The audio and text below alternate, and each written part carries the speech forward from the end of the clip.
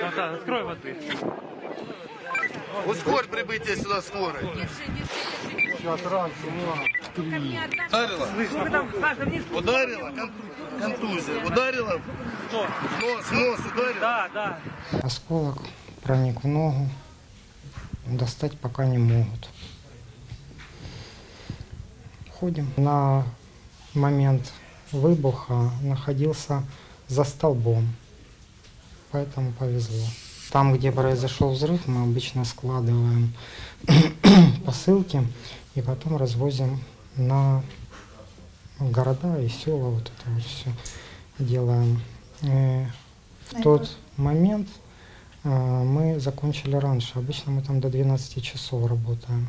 Ну, то есть то много, много посылок. И почему-то в этот день их было мало, и в 10 часов мы закончили там разгребаться. Хлопок этот, бах, непонятно вообще, что произошло, и все, все побежали. Я сознание не терял, я просто, ну, почувствовал, что, знаете, как в машине колеса пробивают сразу, на полуспущенных, э, выключил, свет потух. Вот, ну, я вижу какой-то хаос, все в пыли, непонятно ничего. Ну, темнота в ангаре, вы можете представить, там никого не видно вообще. И, ну, смотрю, что начали включать фонарики с телефонов, э, кричать на выход. Ну, тут я, как говорится, отямился и пошел тоже за людьми на выход. Вот, мы бежали, там все раненые были, все, кто как, тянул ноги. Вот. Э, Добежали до бомбоубежища. Э, Во время бега я почувствовал, что у меня мокрая штанина, э, кровь текла вообще, я в шоке был, я думал артерия. Вот. Э, Сразу же в бомбоубежище там были наши ребята, и они перетянули мне ногу жгутом. Вот. Ну, помогли, так сказать. Остановили кровь. Ну, а потом скорая приехала. За что мы берем?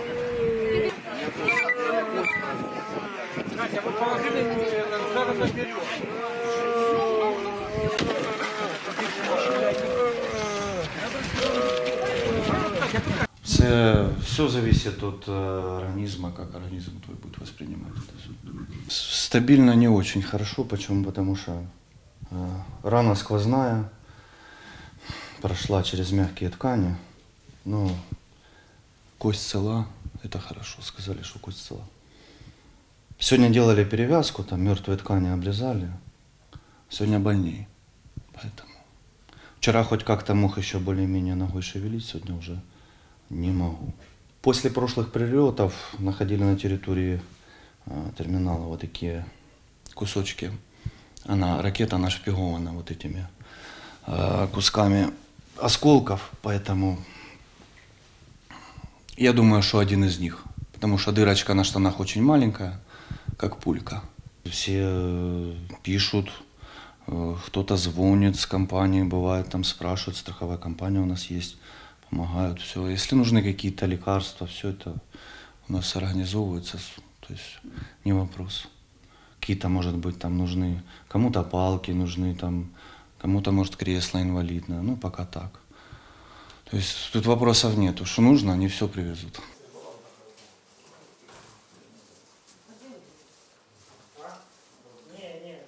До нас госпіталізовано 16. Семеро з них в важкому стані перебувають у відділенні інтенсивної терапії на зараз. Один в дуже важкому стані. Нещодавно закінчили йому ну, повторне оперативне втручання. Дев'ять е, в стані задовільному та легкому перебувають і вісім в хірургічному відділенні, один в травматологічному. Всі без винятку мінно-вибухові травми, осколочні поранення різних частин тіла, е, черевної порожнини, грудної порожнини, е, кінцівок, е, ну, різні. Це наслідок прильоту російської ракети. Тобто уламок він же ж не стерильний. І затяг з собою одяг, там пил, все, що було. Отут варіанти можливі будь-які. Ну, Тобто тут передбачати я не можу. Чому я кажу, що я не можу сказати, скільки вони будуть лікуватися? Саме з тих причин. Такі пацієнти максимально тривало перебувають в стаціонарі ну, до того часу, поки ми не впевнені, що з ним все буде добре. Певна річ, що всі е, мають стресовий стан. Ну, ви розумієте, що таке пережити. Люди прийшли на роботу, займаються своєю цивільною справою, зненацька прилітає. Вибух е, розкидала, на їхніх очах люди загинули. Ну, уявіть собі, який, в якому психологічному стані вони перебувають. Потихеньку будемо доводити до ладу. Я думаю, що ми психологів потихеньку вже, ну, вже підключили, почнемо з ними психологи працювати, бо ну, повірте, це нелегко.